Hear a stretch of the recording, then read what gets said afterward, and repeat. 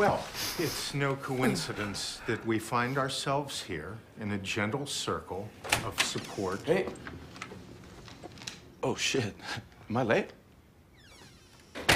I'm sorry. You know, I know it's probably really, really bad form to be late to a, you know, to an intervention. Hi, I'm Beth. Hi, Beth. What's going on? Hey, big guy. Who the hell invited him? You know what? I, I invited him. You did? You invited him? Yeah. You know what? I followed you to his place earlier today. I uh, saw you pay him. And after you left, I went up and I talked to him. It says right here, if possible, it's best to have all enablers present, even, even bookies. So I, uh, I agreed to pay your debt if he agreed to come here tonight, and he did. Thanks, man. I appreciate it. Really nice of you. No problem. You gotta be kidding me. He's not my bookie, Nick. Oh, come on, Ronny. Admit it, man. You bet on everything. How dare you show up here?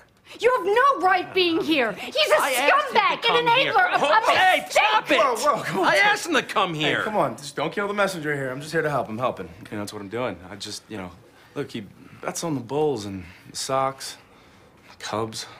He bet on the Hawaii game. Only degenerates bet on the Hawaii game. I don't want that for you, man. I should have done this a long time ago. I think you need to take a look at this.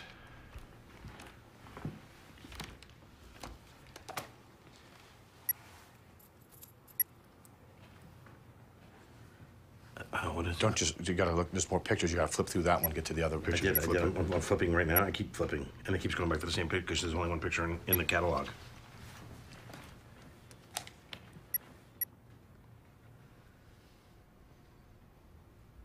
Can't take a picture of something that didn't happen, Ronald. Son of a bitch.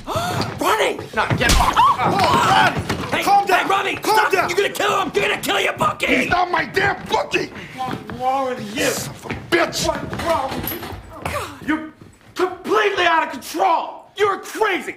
You're completely out of your mind! Now, look, don't get me wrong. I'd like to party with you and get high with you, but You're insane!